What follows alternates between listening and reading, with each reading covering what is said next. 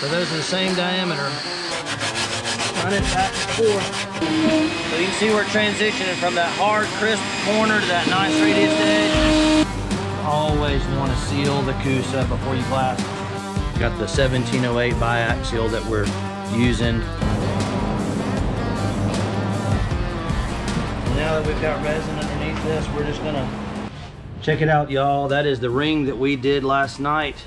Glassed it with two coats of uh, chop strand mat. Got that curing right now. So what we did last night, after we screwed it down, we resin coated it, screwed it, filled the screw holes this morning, sanded them off, and then we're transitioning now into continuing these uh, oh coaming supports. And it may be interesting to some of y'all. That's how we uh, install this. It's two strips of three quarter ripped and um, we've kind of keyed or indexed these a little bit so one sits into the other. We got a batch of resin, got our three inch bristle brush, and here's our pieces. We've got all of our, our uh, fasteners already staged and ready to go. And what I'm gonna do, Mark, I might get you to come over here and hold the outside of this piece if you don't mind. That way I can brush some resin on it.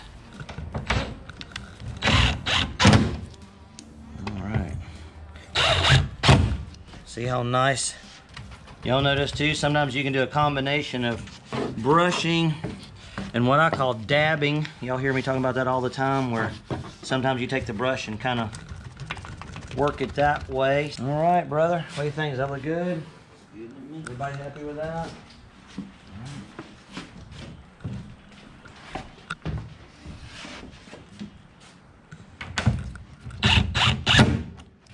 We don't have to run these in there crazy, crazy hard. Just snug, the resin's gonna hold. Here we go. Draw those together.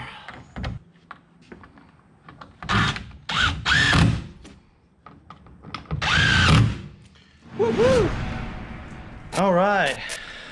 That's looking pretty good. Mark's cleaning up. Really good to me. That voice y'all hear is mom. We're videoing. Hello, mom. Are you hungry? Maybe so. Y'all, one of the reasons we're hurrying, it's about lunchtime. We're trying to zip zip right along. That's my mom. That's Miss Joy. Maybe we get a lunch invite, y'all. So we're going to be jumping over to the other side. Probably taking a little lunch break. Pick up on the afternoon. We got one, two, three already drilled. And uh, we got our inlet set up here.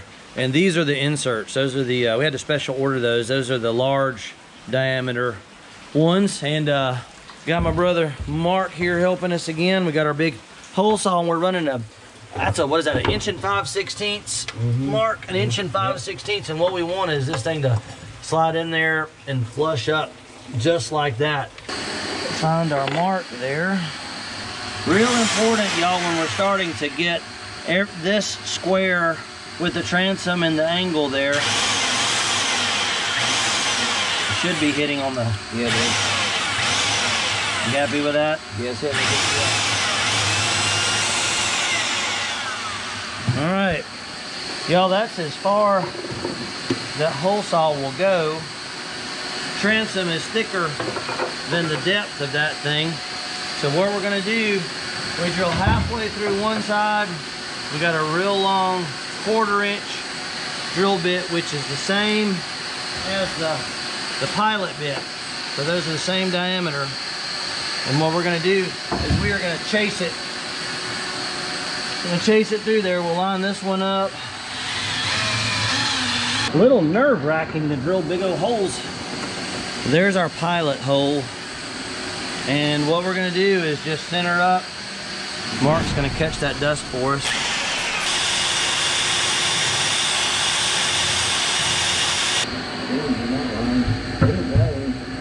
Snug on that one.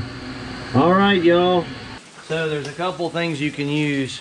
We got a big rat tail file or a rasp.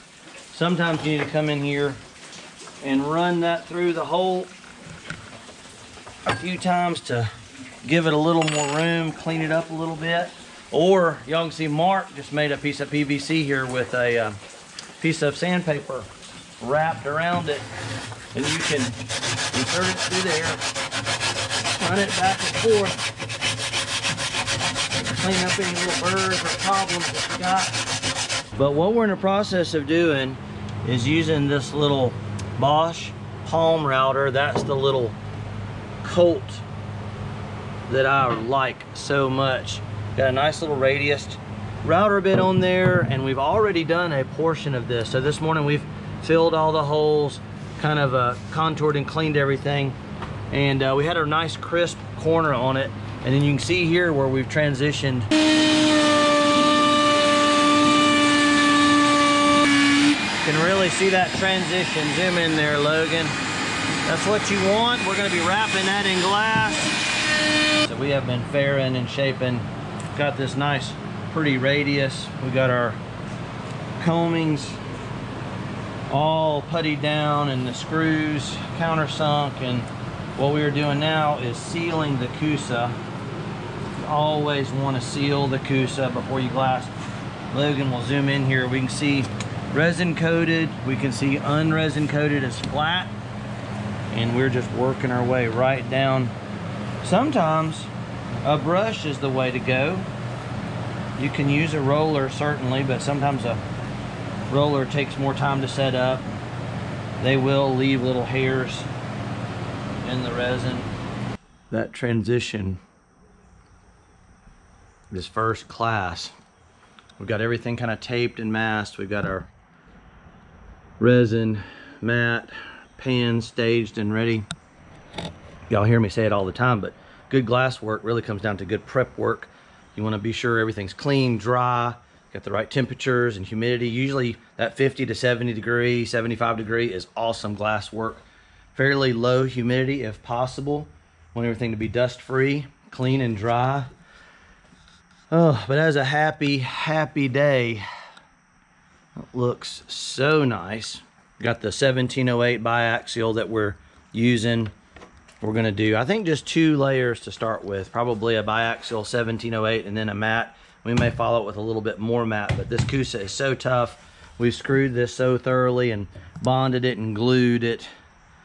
Don't really need to put a ton of glass. It's a good time for me to tell y'all thank y'all so much for watching the channel. The support means an awful lot to me. You guys we want to do more of this. You know i've said it before i hate to ask all the time but if you got friends or family uh, if you haven't already subscribed totally free to do so. It helps the channel uh, the views and the watch time are a tremendous help. And you guys i will personally respond to any comment you guys have. You have boat questions curious about something um, let me know. You can comment down below in the video you guys hang tight. Got more cool stuff coming y'all's way. We got glass going on these gunnels. Obviously we got a 1708 biaxial. And what we've done is we've just placed it placed it up there and made sure it fit the way we want. And we flip it half over itself. See that? One half is flipped over the other. We've already flipped one side up rolled resin underneath it kind of stuck it and then that's what I'm doing here Mark is working behind me there with the little hard roller We've already got the bow section. Now that we've got resin underneath this, we're just gonna placing that right up to the corner.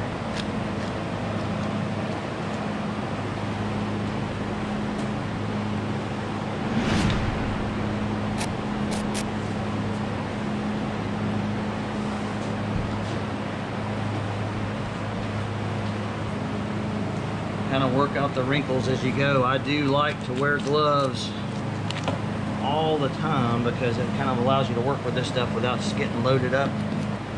My brother Mark did a good job. Mark's the glass man. Cutting and fitting. It's thing. Look at that. Ha ha. Ha ha, hee hee. Woo! Now sometimes if you're in a big hurry, you got a big flat panel, you can actually just pour some resin out.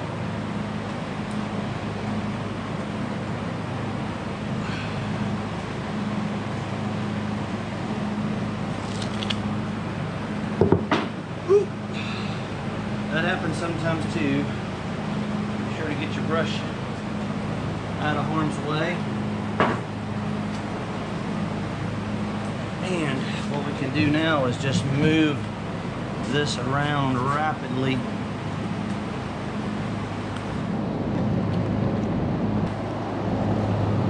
Just kind of get some everywhere and then come back and detail it. It's the way to go. It's got binders in the glass and once that resin gets on there it kind of helps melt those binders a little bit helps everything kind of conform and become one okay Mark's rolling y'all can see the difference Logan look how transparent that is versus here. You can see this is more opaque. That's going much darker. Mark, can you show them that little hard roller? These kinda, are little nylon. We'll put, dirty. We'll put some kind of a link. We call these like a little bubble buster. That's a three inch. I believe Mark's got a six inch. Yeah. We'll put those in a link in the description below. But if you're doing glass work, that's just a standard, uh, like a fiberglass roller, a small one. But that is gonna be Real important if you want to do quality glass work. We're getting ready to roll this other piece of biaxial. You can see we stopped here. You can see there's kind of a heavy seam. Stop there for lunchtime and we've got some pieces pre-cut. And today we are just butting these pieces right up one to the other. We're not really doing an overlap. Not really necessary in this application. You can see my brother Mark has rolled this up had it ready for us. He's over on the other side, wetting out another piece, but we got some we got some weather coming. So we're trying to move this along. Just move it. Move it or lose it, huh? I know I'm moving fast, y'all, but we're this is boat building for real, where time is money. We are not trying to drag this out. Want to do it right, but do it fast. Do it good. We've been doing this a long, long time. Get me and Mark together. Dang it, how many years? When did you start fiberglassing, Mark? How old were you when you started fiberglassing, man? 13, I think. 13 and you're 63? Yeah, 50 50, 50 years? Yeah. 50 years and I'm almost I'm almost 50 myself. I'll say another 30 let's just say another 30 years for me at least.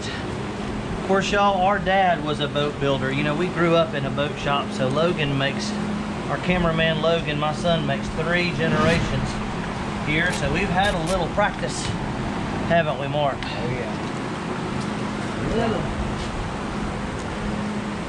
All right, see how quick we, quickly, now you always want to be sure between batches, you do not want to leave any residue any resin in there because it'll come back to haunt you, won't it, Mark? Yeah, it'll have some jello. It'll gel up, make a little jello in your pan. And then also, what I like to do is between batches, and we had previously glassed this this morning, is roll out your roller and your brush, get any of that material that you can out of there.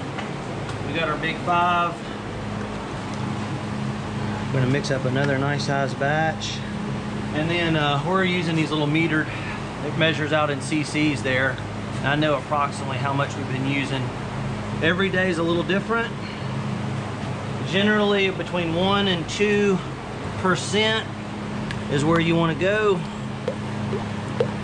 And you wanna thoroughly mix. I always like using the dyed catalyst, we add some red dye in there and it changes the colors of the resin so you can see what you're doing. Did you like it like that other one? Yeah. Okay. All right, y'all, see what we're doing here? We're letting this mat kind of just feather right over that biaxial.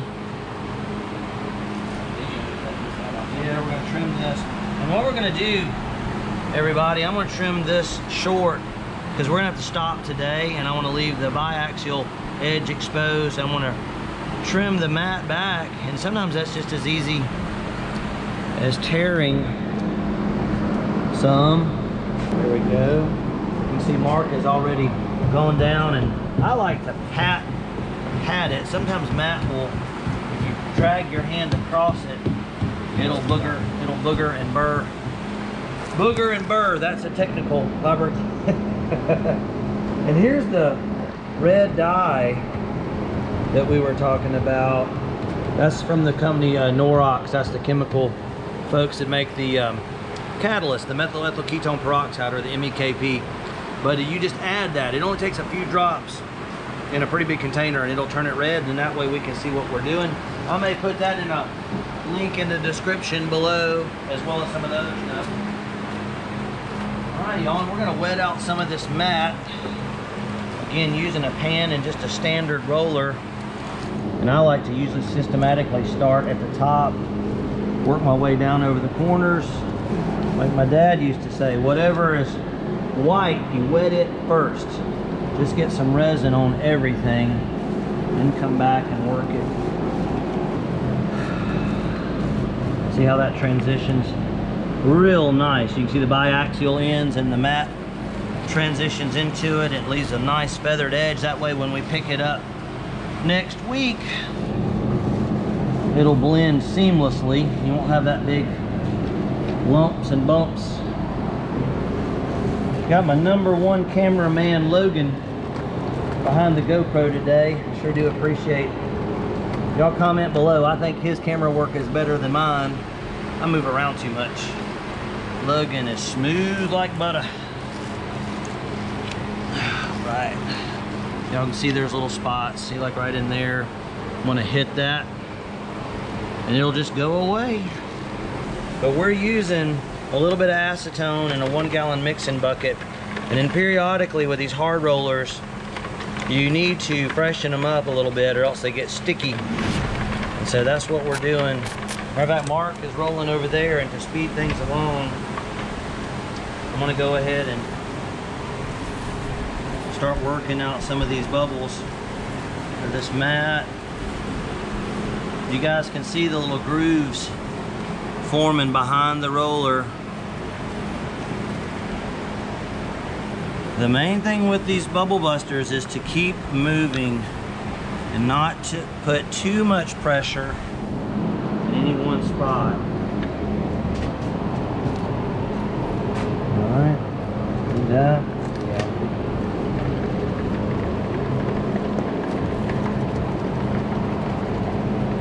This takes your glass work to the next level.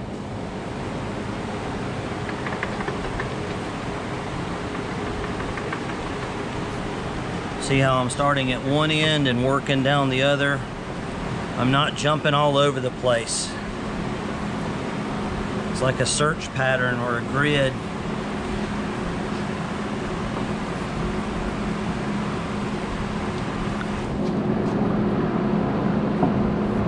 Sometimes you want one of the wider ones, like I'm using now for covering big, big territory. Mark's got the smaller Sometimes it's like a wide putty blade or a narrow putty blade. There are times when one or the other is preferred.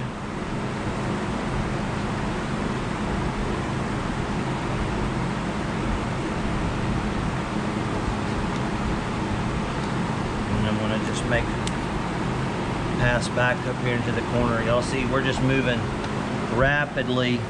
You don't wanna jab into corners. Some people I see, they'll take the roller and they'll just keep pushing into the corner.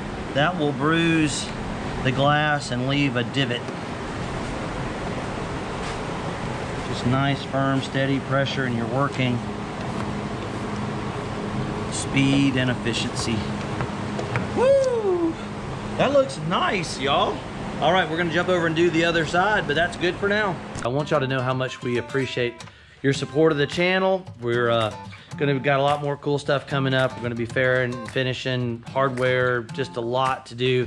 We're still balancing our fishing season with getting this boat built. So uh, thank y'all again so much for support of the channel. Remember to hit that thumbs up, the comments, the likes, the subscribes to the channel really help a ton. And as always, it's Captain Joe here with Island Marine Charters down in Gulf Shores, Alabama, and Fish Bump TV here on YouTube. And we'll catch you guys next time out.